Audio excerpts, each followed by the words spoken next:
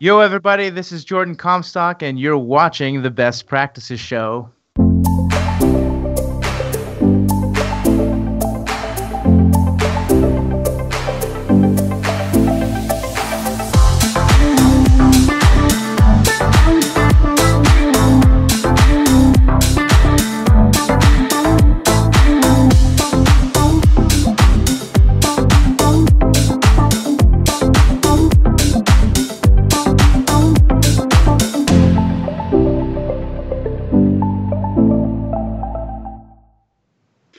Guys, thanks for watching the Best Practices show where we take a look at the best business practices from the best dental practices all over the world. And if you're a private care dentist, you're trying to grow your patient base and grow your practice, you're already hearing about this. It's how to create an in house membership program for patients. And everybody's got questions, and I got the man who's going to answer the questions directly. So today we're going to talk about the secret recipe about how to create a successful dental membership program with Jordon Comstock from Boom Cloud. You do not want to miss this. And I'm just going to say this out loud. This is a non-negotiable. Don't even think about it. Don't even question it. Don't even digest it a little bit. If you're growing a dental practice, you got to create one of these. And everybody that's doing it is seeing the direct impact on how they're growing private patients. So do not miss this. Now, a couple show notes. We're shooting this live on Facebook. So if you have questions, just shoot them at us. Like send them to us, put them in the feed on the right. I'll ask Jordon while he's on the show live, and we'll get the answers from the master himself. Or if you're watching these later on, continue to add questions to the feed, and you'll see we'll get we'll do our best to give you the answers you need because we want you guys to get the most out of these best practices shows. Also, share these with your team.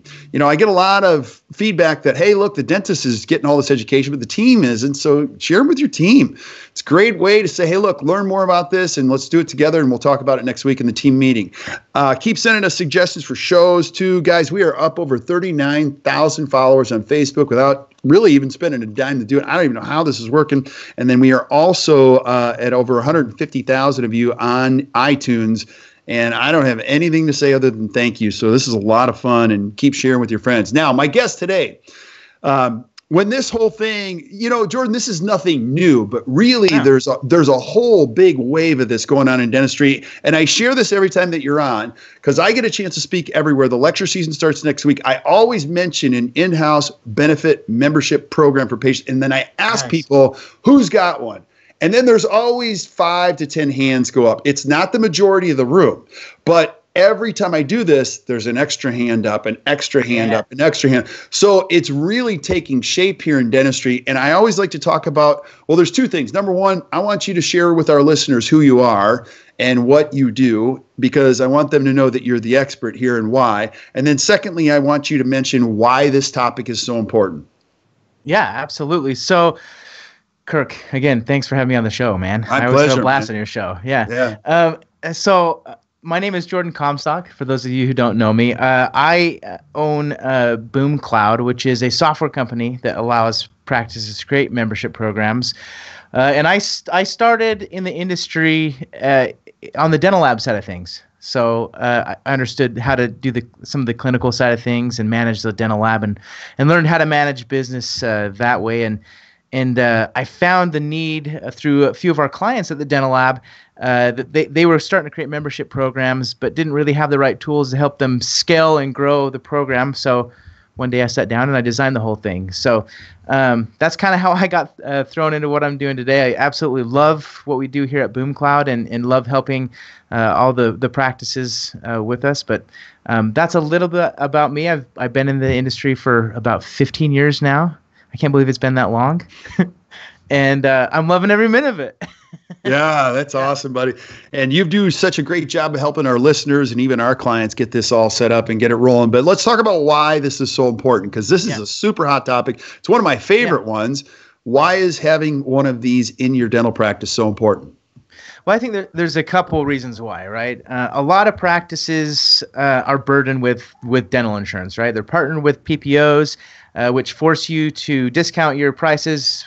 Uh, you don't have control over those discounts, which force you to lose profit margins. Um, I, I, think that's the biggest issue why or the reason why you'd want to start an in-house membership program uh, because there's there's another way. There's another way to build your practice. There's another way to attract and retain patients other than the PPO route, right? Um, and then what I just said there, a, a tool to help you retain your patients. Uh, every practice, every business deals with some sort of attrition, um, no matter what industry you're in. Um, and you need a way to help retain and keep those patients loyal right? Um, so I, I believe that an in-house membership program can do that. Is a great tool for that uh, for generating recurring revenue for the practice which is a revenue stream that is pretty uncommon in, in this industry uh, to have a predictable recurring revenue stream. Uh, it's one of the most important revenue streams a, a business can have uh, in in in forms of increasing valuation and and the value you know the value of your practice, um, and then it's a tool to help increase case acceptance, right? Mm-hmm. Um, that, that, that the practice controls um, and um, can offer to the, the patients. So those are the reasons why I think it's important for a practice to set up a membership program and and to enroll their patients to it. Yeah, and I could actually piggyback on that and add a thousand. We could do a whole show on just the benefits oh, totally. of creating one. Totally. I mean, it's yeah. first of all, it's hard to find a business now that doesn't have a membership. If you go to Costco, you go to oh, Netflix, um, even one that all of you use called Amazon. Bezos knows one thing: we need more members. He's not looking at yeah. revenue the more members I can create and the different tiers of membership, the more we're loyal, all that kind of stuff. Now, also think about this. If you're a dentist watching this right now, you're creating an, it's not an insurance program, it's an in house member, which we're going to talk about that. But you're creating a plan in which these patients can only come to one dentist. Who is it? Yeah. It's you. It's you. They can't, they can't use these benefits in another office. The other thing to keep in mind too is insurance benefits are not going to finally reconcile themselves. You know, the big insurance companies aren't going to have a, a, an awakening one day and say, you know what, we feel really bad. Like we've been ripping these dentists off. Let's let's start issuing checks and let's just give them let's full cover. easy for let's them. make yeah. it easy. That's never going to happen. No, and yeah. And on top of it, you know, there's no maximum, there's no, and you need a way to be able to retain these patients. Also, your patients need, to, your team members need a way to present what you do in a way that they're energized. And I'm going to tell you right away, they're going to, they're going to experience violent resistance starting it. But once they get going, they're going to go, that is the easiest thing we have ever done. So, yeah. I'm and- just, and a, sorry, Kirk. Nope, right and, ahead. and, a, and a side note, uh, the uh, more of the United States are, are becoming less dependent on insurance, right? There's more and more people that don't have dental insurance, right? It's it's now estimated around 60% of Americans do not have dental insurance, and and to me that's a, a good sign for practices wanting to create and grow in-house membership programs. Right. And, I, and again, I'm just going to keep pig, piggybacking on the benefits, but this is a really stat, sad statistic. But of those people that have dental insurance, the number one reason patients still go to the dentist, this is terrible, is yeah. they perceive they have a benefit. So a benefit. now you can provide a benefit. It's not an insurance benefit, but you now have a way to provide that so that you can keep that traffic consistent in your practice. So chew totally. on that for a second while we talk about the secret recipe, but kind of get us teed up, Jordon. When we talk about a secret recipe, here's why this topic is so good for today. Because people are like, oh, yeah, I tried that, but it didn't really work. But really, what you have to have is you got to have a strategy. You got to have, like, it's got to be a consistent thing. You can't just try it once and go, oh, it didn't kind of work for us, right? No, no. So, uh, in in my opinion, there's there's three things that a practice needs to be successful, right? Uh, they need a commitment strategy a marketing strategy and and a, a team presentation strategy, right? Where where they can and I'll, I'll we'll go into the details here, but um, that's what I've seen working with the, so many practices that they need that, and and too many practices, like you said, Kirk, will start something new, whether it's a membership program or anything else, um, and then they they give up too easily or or don't have a commitment strategy. And uh, in my mind, when when I start something new here at Boom Cloud, or or if it's out, out of work, if I'm maybe learning a song on the guitar, right? I want to I want to commit to learning that song and and give my full attention to it, right? Um, so I believe having a some sort of commitment strategy where you have a goal and, and you want to achieve uh, a certain amount of members or a certain amount of revenue or or reduce a certain amount of PPOs, you got to have some type of goal and you got to you got to give 100% commitment to to that strategy. Um, far too many practices will start it and will do it passively and nothing works uh, when it starts out being passive, right? Uh, no matter what you do, you need to give some effort to to the strategy, right? Um, for example, I mean, I can apply this to so many things. I'm, I'm sure you can too, Kirk. Uh, when I started Boom Cloud, I I gave I gave it 100% commitment, right? Even though in the early days we it was not proven, there was no revenue coming in the door, right? It was really hard and it was very challenging to commit, but I did, right? I committed. I quit my job at the dental lab and I I gave it everything, right? And it worked, right? And and I think every every business, every practice owner goes through those types of things um, when they start something new.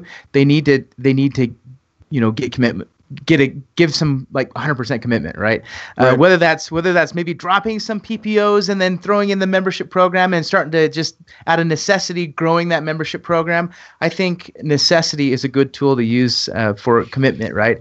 Um, so that's that's my opinion and what i've seen out there. A lot of a lot of practices don't commit right. and and kind of just put it to the side and say yeah we got the brochures over there right. about the program but yeah yeah, here let me piggyback on this too because here's yeah. another example of a good commitment strategy is just laying out a plan for the next period of time that you want to measure how we're going to uh, improve this. Here, you know, uh, in an instant gratification world, a lot of times yeah. dentists do something and they're like, "Well, how did we do in the last couple of weeks in this thing?" Here's a great example: 13 weeks every Friday, you report on how many membership programs were presented and accepted by patients. That way, a month is too short because it's too easy to give up. But over 13 weeks, you'll go, wow, we presented 50 and 40 said yes. Okay, let's wow, do another yeah. 13 weeks and see if we can't do present 60 and have 50 because this is not a short-term strategy. No, this is something that you've got to be committed to a long term. And the other thing is the team needs to see some benefits. The data over 13 weeks allows them to be able to say, wow, that wasn't a ton, but wow, it's better than last quarter type of a thing. And yeah. now we're start to layering confidence. We're starting to layer confidence that our commitment strategy is working. No, I, I love that, and I love the the 13 weeks you said where yeah. where you measure. I, I think that's fantastic. Um, you got to measure, right? You got to measure what you're doing so you know you can number one hold people accountable, right? The people that are in charge of your membership program. As a practice owner, you need to measure so you can hold those people accountable and know what's actually going on in your practice. And then and then number two, it's always it's always good to know you know what's happening in the numbers right so then you can say okay this is working let's continue what we're doing if it's not working let's pivot or change um, what we're doing and see if that works better right so that's right. that's i'm a big believer in committing into something if if again i'm going to go back to the music concept because i love playing the guitar kirk um, if I, I, learned to play the guitar when I was 11 years old. That's mm-hmm. when I started, right? Uh, when I, I picked that guitar up and I committed 100%. Every day I went and I did something, right? Even if it was something little each day, I committed to it each day. And eventually I got to the point where I can play, you know, guitars solos and, and cool riffs on the guitar, right? And make up some songs. So this the same thing goes to committing to an in-house membership program. Do something little every day uh, to to improve your program, whether it's talking to a, an additional patient that day and then right. doubling it the next day. Um, but I, I, I feel like that is a, a, a, huge thing that that practices miss when they when they start membership programs, uh, because I think they're so used to PPOs and the PPOs doing all the work with with like lead gen, right? Right. And patient right. generation, right? So I think um, if you truly want to reduce PPOs and and create a successful membership program, you got to commit. You got to do something every day.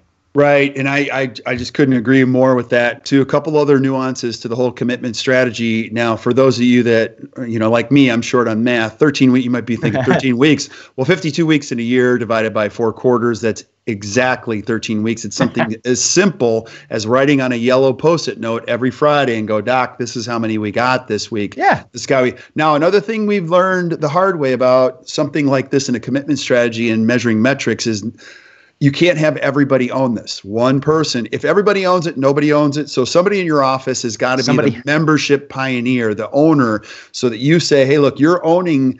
And you could probably have two people. Own, one might own the implementation, another one might own the numbers, but there's got to be someone owning those two. Agree, Jordon? I agree 100%. And in fact, uh, make sure it's somebody that is there every day in the practice too. Because yes. I was I was talking to a practice the other day, and they're like, we have somebody that comes two days a month and they're going to oversee all the membership program. I'm like, your program is going to fail. Right. I can tell you that right now. It's mm-hmm. going to fail because you're not giving it enough commitment in the early days. Maybe once it gets bigger and a little bit more mature, you can do that. But in the early days, you got to give it 100% commitment. Yeah, so that's an example of a commitment strategy. Commitment strategy would also include education, also include something a review at a team meeting. Say, hey, look, how are we doing? I would say a commitment yep. strategy would also include a mini discussion during the morning huddle, saying, hey, look, guys keep in mind our goal this week is to get four patients you know to present to four and have three say yes because yeah. real and really this is in their best interest. So so that's important on commitment. And now let's go and you have anything else about commitment? Because i again we could make the whole show on that one. Yeah I, yeah no i think that's that's enough for now. If people have questions about how to com- how to truly commit to something uh, they can ask me or ask you. But um yeah i think that's i think that's a really good end to our commitment strategy Cool. Well, let's go into marketing strategy, which is the second piece of the recipe to making this successful. Yeah, so marketing is is one of my favorite things and it's what every business needs to do, right? But not every buzz, business has it as a priority in the in in the practice, right? Right. Um, so I think um, and and from what I've seen out there, the the practices that are successful and have hundreds or even a couple thousand patients signed up for their membership program have a consistent successful marketing strategy right? What what does that mean for you? I don't know. A marketing i'll say up front here is an experiment especially with this. You have to experiment see what works test out and then once you figure out what works you just double down on it right? Mm-hmm. um, so but i can give you some tips here what market is towards the end here we'll talk about some marketing what i what i've seen successful. But um, in my opinion if if you look at your ppos that you're you're managing the practice and and take a look at all the write-offs you're taking think of that as a marketing expense right? Uh, when you look at all your write-offs and and think of it as like a marketing expense you'll see that you're getting ripped off with the ppos mm-hmm. right? You're spending right. a lot of money, hundreds of thousands of dollars in write off write offs each year um, to to have those PPOs give you leads, patient leads, right? Right. Um, or patients, um, and you can market far more efficient, especially this day and age. Um, for for a fraction of the cost that you're you're spending, you're writing off with the PPOs. So I want everyone to keep that in mind because PPOs are very expensive uh, to your practice when you could when you can market on Facebook, right? There's there's all sorts of Facebook ads. I mean, Kirk, your proof there. You, what you've grown your Facebook to? You said you said at the beginning like 39, 40,000 uh, followers. Almost 40. Yeah. And, and, you said you didn't have to like pay anything for that. So there there's strategies that are, are completely free that a practice can do. There's also paid ones. I recommend doing both. But um, there's there's Facebook ads, LinkedIn ads.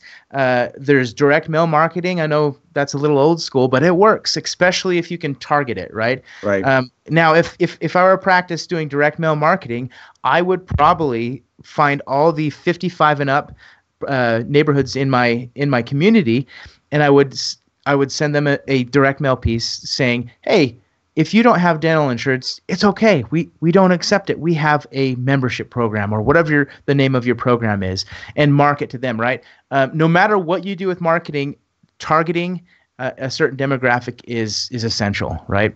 Right. So I think having having those those those demographics in order uh, will help you be successful with, with like direct mail marketing. Absolutely. Well, yeah, I have so many thoughts on this. I, I, you, no, you're the expert. I'm just like, okay, you know, and, and I'm going to piggyback again on that. But if you're going to market anything, number one, you got to have something written somewhere that tells people what you're up to. Because if it isn't writing, if it isn't in writing, then it doesn't exist. And a simple way to do it is just put it on your web page with what you just said, Jordon. Look, no insurance, no problem. We've got you covered, type of a thing. Our in house membership benefits program, and then you list all the benefits to it. So I think at the very least, you got to have it on your webpage. Number two is you got to have something written yeah. to explain it to your patients. You just can't talk absolutely because their eyes roll back in their head and say, "Look, have we told you about our in house?" And it's got to be written. You present it to every patient, every time, every day. You're going to find it's going to grow no matter what. I don't care if you're selling flowers. If you're selling flowers on a piece of paper, you're mentioning every patient every day, every team, all the time. You're going to sell a lot of flowers just yeah, by the fact you just purely mentioned it.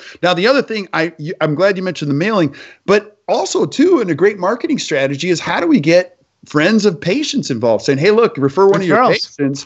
you know, and we'll waive one of your family members or something like yeah, that. Because now absolutely. you're going to get a whole family because you're going to have one member of the family, and then good chance you're going to add everybody else in the family, which means you're going to be able to retain those patients. So also make sure it includes a hey, look, we have, you know, if you have some great friends, refer them. Now, one more. Oh my gosh, we could do a whole one on marketing. Whoa! this is the advanced course. Jordon, you know this happens. When you yeah. start talking about in-house membership benefits programs, patients are going to come to you and go, "Wow, that's like cheaper than my own dental insurance oh, benefits." oh yeah, oh yeah, oh yeah. For well, the natural question after that is, who do you work for? Yeah, and then you go, well, I work at the plant at so and so. Write the uh-huh. plant name down. down and then have somebody, probably you, on your Friday that you have day off, go over to the HR department go, hey, look, I can shave hundreds of thousands of dollars on your dental insurance programs. Are you interested? Start with that question. You'll get an appointment with anybody. The CEO will probably sit down with you for a half an hour and go, okay. And you can say, hey, look, I created my own in house membership benefits program. You can present this to all your employees, send them to me. We have dentists that are, they're like, oh my gosh, this is the easiest thing. Now, is every employer going to say yes? No. no. But there's going to be a few that are going to go, oh my gosh, you just added so much to our budget because now yeah. we don't have to do that. So yeah, and and and that's one of my favorite strategies. Um, it's it's a little harder than most because it does take some personal time and and it's more face to face in my opinion if you're gonna if you're gonna market to other businesses.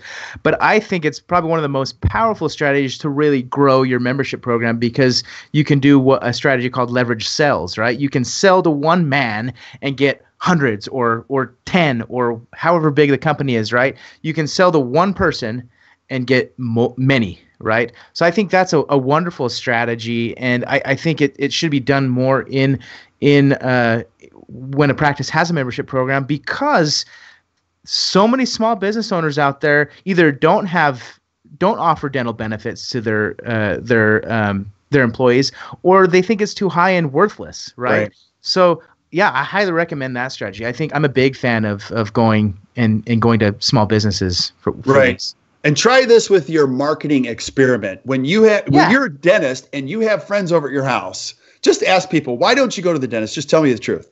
And they might say, Well, I don't come to you because you're expensive. They'll go, No, we don't go to the dentist for one reason. We don't have insurance. Yeah. And you can go, Oh my gosh. You can look at that and get angry, or you can go, Oh my gosh, what an incredible opportunity. Now you can start using that because a lot of times you just need to know the why before you get into the how and make this work. Totally. But, yeah. Yeah. And the other thing I would say about marketing, uh, Jordon, you and I both know this. One of the most important components of any marketing is that you're consistent. You know, because people people confuse marketing with a return right away. One of the biggest things is you're just always consistent. So whatever you employ, make it work all the time. I, I agree 100%. Uh, you got to be consistent. Um, if if not, then it's just it's it's going to have a, a, a, sporadic message, which is not good. You want people to remember what you're doing, and I think consistency is is the key, right? So, yeah. um, I, I think I, that's a. I, I'm going to volunteer you for this too. So I'm just going to tell you, if I was a dentist, oh. I would employ. I'd have a call with Jordon or one one of his team members every month as part of the consistency to keep this thing hot in my practice. Do you know what I mean? That would be a scheduled marketing if, activity. Yeah, if if uh, well, and if yeah, any of our users, I, I have I have my calendar online. Anyone anyone could uh, schedule with me and pick my brain about any type of strategy. Um, I think that's always good too to have some type of accountability coach, right? Um, when you're when you're whether it's marketing accountability or commitment or or anything, right? What you're right. doing with, with this. So having some type of accountability coach or partner is is is can be beneficial. Right, because at the end of the 13 weeks, I'm going to say, Jordon, we got 40. How do we get to 60? And you're going to give me the answer. Yeah, at least you know a I mean? suggestion, right? or a suggestion. yeah. Cool. Now let's let's go into the the third part of the recipe, which is the presentation strategy. Tell us about what that is. Well, I think far too many practices lack verbal skills. I'll be honest, right? Uh, and and what? lack. What? What are you talking about? You talking about? yeah, I, I think um, I think that's probably a really it's a really good asset or skill to to enhance in in a practice, and I think it would be wise for a a practice to invest in that, whether it's the dentist um, enhancing their speaking skills or their presentation skills, or having helping his his team members do the same. Um, but uh, when you have a membership program, you're going to be doing a lot of educating um, to the to the patients, and and the the team needs to know how to. Um, successfully present a membership program in a way the patient feels like it's a really good benefit for them, right? Because you can easily butch the presentation and, and the patient just is like, nah, no thanks, I don't want it, right?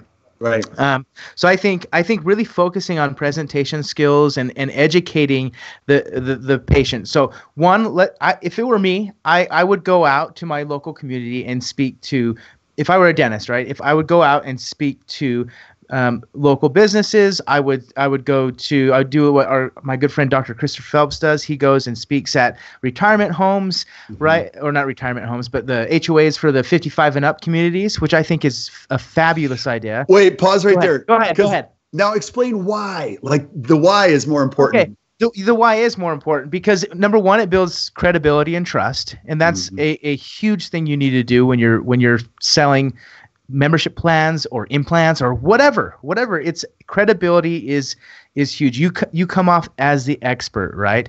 Um, and it's it's non-salesy right? When you right. speak and educate it's non-salesy. It's it's content right?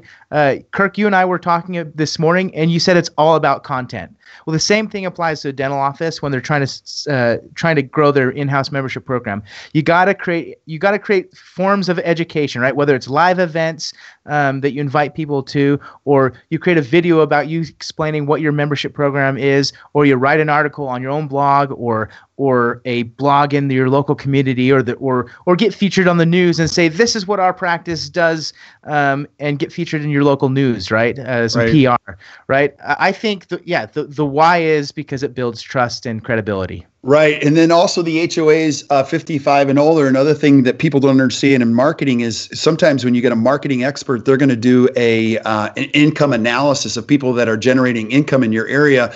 And people that are north of 55 and 65, they're not on that because they're not generating any income. But they're yeah. But they're sitting on income. Do you know yep. what I mean? Like yeah, good point. So, and they also don't go to the dentist because they're 65 or 66 and they don't work anymore so they don't have dental insurance but they're sitting on a mountain of income because they've saved their whole life. What a problem with teeth yeah, as what as they get older. oh my gosh! And also keep in mind these people are going to be living to 100, and there's nothing north of 65 other than food and communication. Do you know what I mean? So like they got to go to a dentist. You create an opportunity. That's an incredible segment that gets missed in marketing because people are like, well, those people don't generate an income. Well, they're sitting on income. So uh, yeah, totally something to think about. Now, keep going yeah. with the uh, presentation strategy, and I want you to go back to this. Uh, can you guys see why I'm excited about this? when you present this, it isn't just a piece of paper and here's it, thirty dollars a month, blah blah blah. You got to present it in a way that it's truly a benefit for the patient. And I've watched some great dentists go, you know, Mrs. Jones, this tooth is broken, and I'm going to fix it today. But really, for the most part, I mean, you don't even have to pay today if you sign up for our membership program or Boom. something something like that people are like wait a minute or i can I, you know we can create a simple little plan and be $30 a month and i'll take care of this tooth see how you're presenting it for a patient that they don't have to pay today but now we're going to keep them as a patient for a long term can you talk about that yeah i, I think that that re, that that's about the topic of like the principle of contrast, right? right? If you've read the book Influence, um, I, I, highly recommend it. It's one of my favorite books. Uh, I believe Dr. Dr. Phelps talks about it. A lot of people talk about it. It's a great, book. fantastic book that teaches you about psychology and influence and how to positively influence somebody. Right? You don't want to neg- do it negatively. Uh, but yes, it's you're using the principle of contrast when you when you can use that skill in, in presentation. Um, it's going to make it seem like a sweet deal for the patient, which it is, right? Mm-hmm. You're not lying to them. Um, but if if like you said, if I were to come in and I and I wasn't on, let's say you're the the doctor, Kirk, and I come in, I need a crown or two, right? And um, I don't have dental insurance, and you say, Jordon, this is what it would cost if you pay cash today. It costs two thousand bucks, let's say. But if you sign up for our membership program today, Jordon, you're going to get all these benefits. You're going to get cleanings. You're going to get, get, get exams. You're going to get all your X-rays done that you need anyways, right? Uh, plus, we're going to discount even today's work um, if you sign up at 20% or whatever your discount is, right? 10%, 20%. That's going to look like a better offer to me because I'm going to get a discount right away versus if I straight up paid cash, right? There's no incentive for me to just go the 100% cash route. Um, discounts can be used to your advantage. And, and using the principle of contrast, when you show a higher price next to a slightly lower price, people are going to look at the lower price and they're going to choose that one, right? Absolutely. Um, it's just human nature. So developing presentation skills to really effectively um, present that type of uh, influencing style to your patients, in my opinion, is going to really help your membership grow.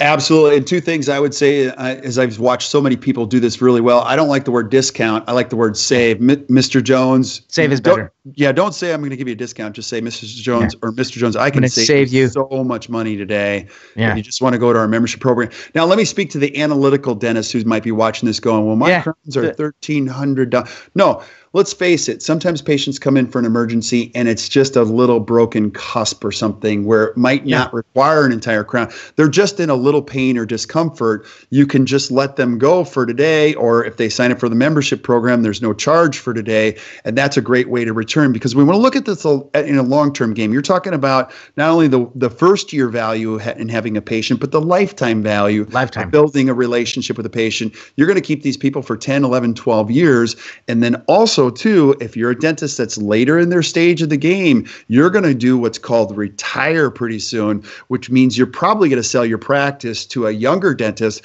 who's going to want to know how many of these patients are real and not dead. Absolutely which means a membership program is going to drive that number way up. You're going to go, dude, not only are these real patients, but they're not even on insurance. Do you know what I mean? Like, and they're paying you monthly or yearly. They're paying you monthly, oh, baby. yeah. boom, boom, boom. So, I, I, again, like, I just, I love this concept. It's not new. Every business is doing it. So, um, it's time that dentists adapt. It's actually one of the oldest business models in the world. Yeah, it is having subscriptions and things like that. It's one of the oldest. But yeah, I, I agree with you um, in increasing the value of a practice. If a if a dentist um, can grow his in-house membership program to a good amount of patients each month, uh, like you said, it is going to benefit the, the next buyer. It's going to make it more attractive to them, and that's what you want to do. When it's more attractive, they're going to pay more price for it. It's going to be more valuable to that that new coming dentist.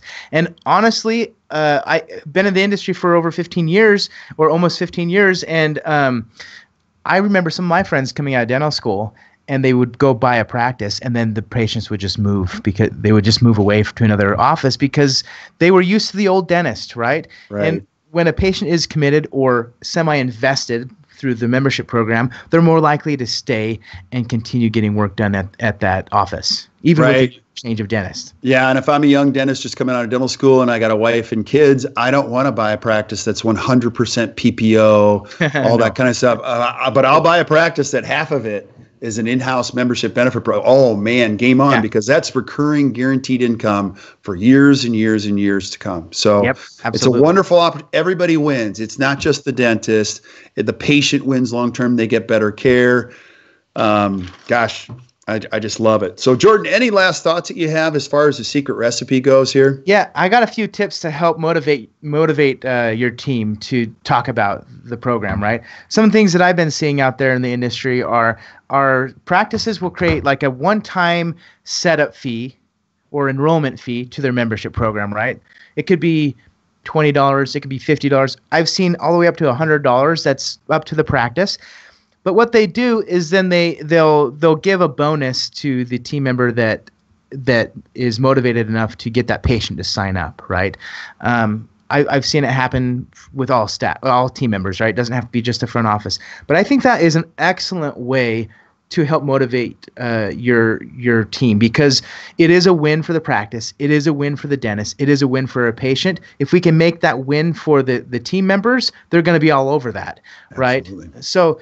Uh, we do similar things here at BoomCloud, and it works really, really well. So um, I would recommend um, doing some sort of of of benefit for your team members to encourage them to enroll patients. So give them a $20 gift card or, or, or whatever it is, but use it with the enrollment fee of your membership program. Use a portion of that to pay for their for, for a little benefit and, and people will be all over that. So that's that's one of my tips I think that could help a lot of practices grow a, a membership program successfully. Yeah, and one of the other tips I'll say is that I've done a couple of these with Jordon is just watch the previous interviews we've had with him because every time you're on here, you give us great, great stuff. And I actually sent this. I actually had a, a great dentist that I, I was texting you, and I just said, just watch the podcast because in that yeah. you'll see how it's going to work. For, you. and he was a specialist. He's like, oh my gosh, this would totally work. Yeah. So you know when you when I you talk, I called him. Yeah, you did, and, you did, and he was so yeah. happy. But the thing is, is that in any recipe, you want to just keep making the recipe better. And part of it is you keeping your mindset that this is a long-term strategy that benefits everybody that's involved, and it's easy. I, I mean, there's nothing very, better than easy, you know. Yeah, it's very easy, and and and honestly, I think any practice can do it if if they just do what we talked about today. Commit, uh, do a marketing strategy and and increase your your your verbal skills, your presentation skills with this. And I think uh, it's going to be an awesome thing for for the practices that do that. Yeah, another awesome thing though too is Jordon. You wrote a great ebook. I actually downloaded a copy, read it. I'm not joking, guys. You'll read it and you'll go, "This is really." Because there are some ebooks you read and you're like, "Okay, this is just fluff for the yeah." You, that's, the, that's your true. ebook, I'm just going to say it's very well written. It's incredibly valuable to a dentist. Just tell us about what they're going to read on that if they download download that book. Yeah, so I, I walk through my philosophy. You kind of get to know me as well as you read it and, and kind of how I came about to to create BoomCloud and, and help practices with this. So that's the first part. But then you also re we we I educate on the benefits of recurring revenue. We we educate on like reducing PPOs and and then we also educate on other ideas and concepts that you could use in the practice in regards to in-house membership program. Uh, and you're right. I I I don't. It's not just a quick ebook like a five pager. It's about 40 pages. I'm actually constantly trying to add new stuff to it as I'm learning more. Um, as because because I see practices do this every day. This is what I do, right? Yeah. I see exactly what's working, what's not working. My team and I we we talk about this pretty much on a daily basis on what's working, what's not working for practices. Um, so I continue trying to to update the the ebook uh, because I believe in in giving a lot of value. Um, uh, you know, in the ebook form, uh, because that's how I like to. I like. I'm a. I'm a reader. I'm kind of old school. Well, um, you are definitely a, a, giver of value, buddy. You do a great job bringing value. And um, again, I'll I have so many benefits, but let me just end with this so you guys know: if you're a young fee for service private care dentist, you're looking for an advantage with DSOs and changing. Like this is one of your silver bullets. You yeah. you can't ignore it. If you're ignoring it, you're just not listening to how to grow your practice this is a great way to differentiate yourself long term. And I'm telling you, even the DSOs are going to be doing this. So you're going to have to be on the front end of this. Oh, yeah. They're they're actually doing it. They you are just to do it better. That's so, how that's how I got introduced. A DSO that we were working with at the dental lab was doing it. So yeah. hop on it, guys. Hop on it, guys. get get there fast. So Jordon, I'm just always so grateful having you on. Um, keep in mind, people are listening to this on iTunes. If they want to find out more information about you, how can I find out more information about you or what what you do? Yeah, everybody, uh, you can go to boomcloudapps.com, um, and that's AP, apps.com. Um, and then uh, we have all sorts of resources on our website that are free. Uh, we got webinars, uh, we have uh, my ebook, we have other videos and, and tutorials and tips and articles um, mainly articles about my thoughts and, and things uh, in regards to membership program. But um, yeah, go to our website, boomcloudapps.com. Uh, you can also download our ebook. Just go to boom, uh, boomcloudapps.com forward slash book, and you can go direct if you don't go direct, there's a pop up too that comes up, so you're not going to miss it. awesome, buddy. Awesome. Well, cool. Well, stick around while we say goodbye to everybody else. But guys, uh, I oh. hope you enjoyed today. If you did, just do us a favor, hit the share button, share this with your friends, send that word out to the rest of the people in the dental community. Keep sending us suggestions that you want to see for shows. I'm going to have Jordon back. Send us some of your challenges. I'll get Jordon back on here and yeah. we'll unpackage some of the big problems. I would love that or little problems that you encounter when trying to implement this, and we'll get the answers straight from the expert. Keep sending us su- suggestions on other shows you guys want to see. We're lining them up, doing the best we can. And uh, until we see you next time, keep watching the Best Practices Show. You guys enjoy the rest of your day.